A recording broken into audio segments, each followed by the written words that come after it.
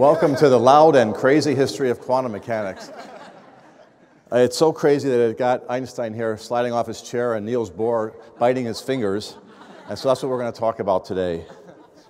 Uh, I'd like to talk about because I think it's important, science is important in society today, and also if you're interested in science, it's important to know how scientific discoveries are really made.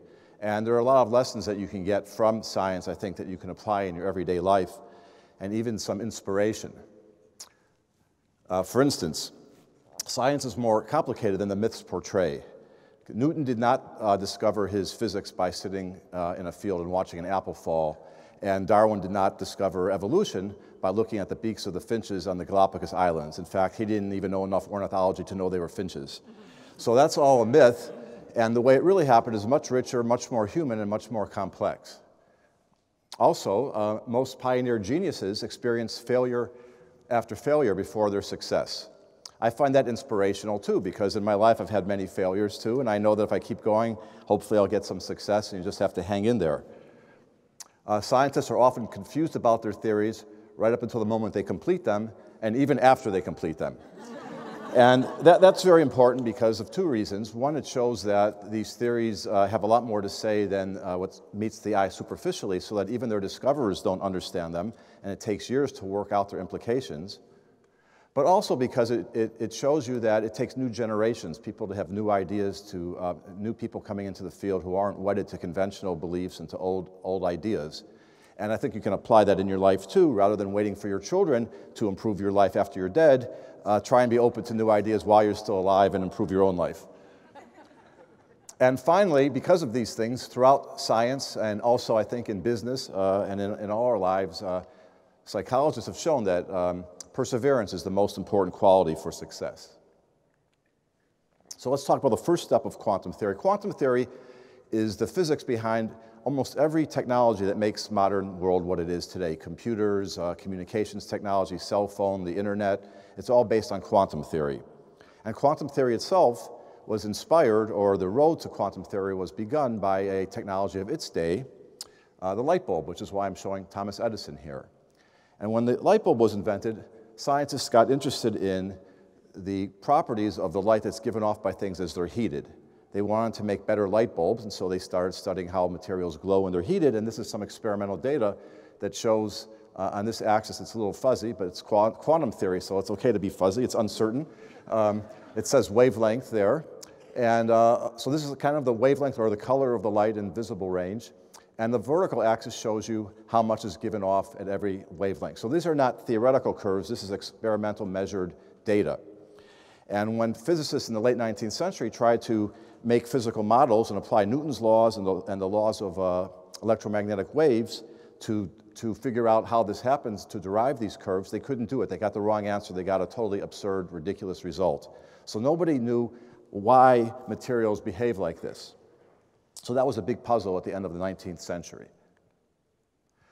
Now, um, this guy, Max Planck, I like Max Planck because I have a complicated name, Leonard Mlodinow. So when I make a reservation at a restaurant, I say I'm Max Planck. They don't usually spell it right, but at least they can say it. And they don't know who he is, so that just shows you what good fame in physics brings you, you know. Um, but Ma Max Planck uh, was not, did not set out to invent quantum theory, he set out to find evidence against the existence of atoms. So that also shows you how physicists, how much they know about what they're doing, okay? But he set out to find evidence against atoms. Uh, he thought he would, could do that by explaining this black body radiation without using atoms, thereby showing that atoms are, are worthless. And the reason is that in the 19th century, the idea of using unseen objects in your physics was very new. People thought that physics should describe stuff you can touch, feel, see. And so a lot of people, like Max Planck, were against the idea of using atoms. And so he tried to solve the black body radiation riddle without using atoms. And for these three years, he worked on it. These are actually from newspapers of the day that I cut out on Google. Uh, very nice fonts. Um, and, and he, uh, see, I'm as patient as he was. And, and he failed miserably. So he worked on that for three years and got nowhere. So at the end of that time, uh, he said, let me change my goals. This is also a good lesson. Let me, let me be a little bit less ambitious. And rather than looking for the physics uh, behind these curves, rather than trying to explain where they come from using the laws of physics, let me just see if I can find a simple mathematical formula that will that will describe these curves. And he indeed did find that. That's right there, called the Planck law. And it doesn't matter if you know any math, it doesn't really matter what that says, but what, what's important is that, that we call that a simple expression. You might not if you, if you didn't like algebra in, in high school, but, but um, that, that, that simple expression, when you plug in numbers, gives you this curve, which is, it's labeled quantum here, but it, this is the actual uh, experimental curve uh, that, the, that the experimentalists measured. So he found this uh, law. He had no idea where it came from. He just made up some mathematical formula that gives this curve. Meanwhile, physicists had this law. I mentioned it earlier. They applied Newton's laws and they tried to derive the, the law, and they got this crazy result that's called classical here. That was done by a guy named uh, Lord Rayleigh and Sir James Jeans. And it doesn't work at all, but that's the law that the theory gives you, and that's the law that, uh, this is the law that Planck says happened, but he didn't know where it came from. So we were in a funny situation where we had a theory that predicted something that was wrong, and we had a mathematical law that, that, that, that showed that corresponded to data, but we had no idea where it came from. So this is how physicists work. What can I say? So what happened next? Planck, to, to his everlasting credit, decided that he should be open-minded and forget about his uh, antipathy toward atoms and use atoms to derive the law. And he was almost successful, but he found he needed one little other really weird ingredient. And again, showing how open minded and adventurous he was, okay? Uh, he, he, he realized from the mathematics that, that he could only derive the law if he constrained atoms to having only certain possible energies. So in life, many things come in continuous form, like water. You can fill up a glass to any level you want of water. But if you have jelly beans, you can only put them in one at a time. You could have one, two, three. You can't have 1.376 jelly beans. So physicists thought that most of the quantities of nature were continuous like the water, but now they realized, well, they didn't realize this, but, but Planck was saying that for atoms, it can only have certain, certain discrete levels of energy. And if I make that assumption, I can explain the black body radiation. So what was the reaction? Well, there was a whole spectrum of reaction to this. No one thought that this was a new law of nature and he had discovered, hey, Max, congratulations, you discovered quantum theory. The people who are most positive said, okay, you made this weird assumption, you derived the answer, there's something to what you're saying, and we congratulate you because you can derive the answer, and we'll eventually figure out what it means. And the other end of the spectrum said, this is all garbage. And um, in fact, Sir, Sir, James Jeans was one of them. Uh, he's the one responsible for this law. And he basically said, uh, Uh, my law doesn't work and yours does, but I like mine better, which I think illustrates what Robert Frost said why abandon a belief merely because it ceases to be true? so, as you can see, physicists were not exactly clear about what's going on. So, next along came Albert Einstein. For five years, not one single paper was written about Planck's quantum idea. Then this kid, well, a 20 something at the time, named Einstein comes along and he says, Hey, Max, you didn't just explain black body radiation, but your quantum idea is a fundamental principle of nature. And in fact, you shouldn't just apply it to atoms, we should apply it to light as well. So, you know, we think of light as being like water that can have any amount of energy, or people used to think that because they thought it was a wave. And Einstein said, just like a water wave, which is made of little atoms, your waves of light are made of these little particles called photons. And so the amount of energy in a light beam can only have certain discrete uh, values. Now, I get a lot of theories like this in, in my Gmail all the time. You know, people uh, say, hey, look at my theory, it's a beautiful theory, it's a crazy theory. You know, I don't know, things like the Earth is really a living organism, it's alive, it, Mars is its sister. Um, if you sit under a crystal, you'll cure cancer. I mean, you know, you're laughing, but, but this didn't look any more, more reasonable to physicists of the day than what I'm telling you now. But what Einstein did was go one step further, which is very important in science, and he applied it to explain something. And what he explained is called the photoelectric effect.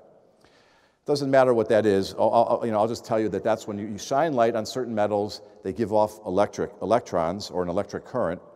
And this is like black body radiation in that it could not be explained by using classical laws. Physicists had applied the laws of classical physics to this system, and they found that they got the wrong answer. Einstein, with his idea of, of um, quantized light and photons was able to explain this. He, that's what he ended up getting a Nobel Prize for in, in the 19, uh, I think it was 1921. So this was a big deal that he could explain this, but the reaction of physicists was the same as it was to Planck.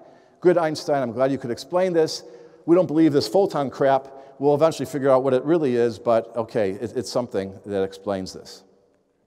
So the best reaction was from Planck, who, when he was recommending Einstein for the Nobel Prize, said Einstein has done a lot of good things, so please excuse him for his stupid ideas like this photon. now that's really interesting because, because Einstein was really saying that Planck's work was more important than people thought, but Planck was saying, no, it's not. the next step came from um, Niels Bohr, the guy who was biting his nails up there. This was in 1912. Again, Bohr was a kid just out of uh, college. He liked Planck's theory, he liked Einstein's theory, and he said, let's combine them. Let's take the quantum uh, theory of light and the Planck's theory of atoms, and what happens if we put them together? And when he put them together, what he, he came up with, with, was a model where the, where the atom, we call, you may recognize this, we call the Bohr atom, where the atom has these discrete energy levels, and single photons can come in or be emitted and cause the electrons to jump around there. And using this model, he was able to explain what's called the um, spectroscopy of, of, um, of elements. So people had known for decades that certain elements give off certain discrete kinds of light when they're heated. Like if you take a penny and you put it in fire, it glows green. It doesn't glow orange or yellow or rainbow. It just glows green and it also gives off other frequencies you can't see. And why do, does each element have a characteristic uh, set of frequencies that it gives off? Bohr was able to numerically derive that using his theory. So no, again, great thing, no one cared, okay? So, so um, now they said, okay, Niels, you too have explained another ad hoc physical phenomena using these crazy ideas, and eventually we'll figure it out, and let's just move on. And it was another uh, 12 years. And, and, whoops, I'm sorry, the reaction. Well, that's what I just told you. My favorite one was uh, Arthur Eddington, who said quantum theory is a crazy German invention. Um, oh, this guy, too, he was a spectroscopist who, who um, it's really his work Bohr was explaining, his measurements. He says it was regrettable that the literature should be contaminated by such wretched information, betraying so much ignorance. So that was the reaction. 1925 and 26, these guys came along. Um, that is um, Heisenberg, Werner Heisenberg. If you Google Heisenberg, you're going to get Walter Heisenberg, okay? As a physicist, again, I take offense at that, but uh, you can be, a, you know, a star of a TV show for a couple years and you displace the founder of quantum theory from the first pages of Google. But this is Werner Heisenberg, who Walter actually in, in the show named himself after but um, got the first name wrong, but we can understand that because who knows physics anyway. So um, these guys came up with really the final step in the development of quantum theory. I mean, we've developed it further since, but this was the big step because they didn't just explain discrete phenomena using ad hoc assumptions. They came up, they each came up with a theory, a quantum theory that you could use to replace Newton's laws. So this is a physical theory that could, in principle, be applied to any system to tell you the quantum properties of that system. The problem was that uh, Heisenberg's theory was hard to understand and no one liked it because it had to do with things you couldn't observe. Schrodinger, in fact, read it and said it was disgusting and came up with his own theory, competing theory, which used waves, which is also strange because quantum theory is strange, but people liked it better because they were more familiar with waves and Heisenberg crazy matrices and things like that. Well, it was shown that the theories were actually equivalent. When they, it was shown that they were equivalent, um, Schrodinger reacted very badly. He said he wouldn't have even come up with this theory if he knew that it, that it would be equivalent to Heisenberg's theory. He was trying to, to refute Heisenberg's theory. But the interesting thing was, guess who showed that they were equivalent?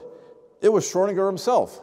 So, so he actually was trying to show that his theory was superior to Heisenberg's when he discovered that they were identical. But being a good scientist, he published that anyway and just groused about it. Um, Einstein, as you all know, didn't like uh, quantum theory at all because it turned out, even though he was one of the inventors, as it developed, it turned out that it has these probabilistic interpretations, so he didn't like it. And finally, um, what did Heisenberg say? Heisenberg said that Schrodinger's version is a bunch of crap. okay, so this is how physics is really done. I wanted to make sure that I got that out. And, and it's a lot like life is really done. But in the, in the next decades, it's been about nine decades since then, quantum theory has become the most successful theory in the history of science. And as I said, modern life is really based on quantum theory. Just to show you how it's advanced, uh, this is a helium atom. It has a proton and two electrons, and that's an equation for it from the 1920s.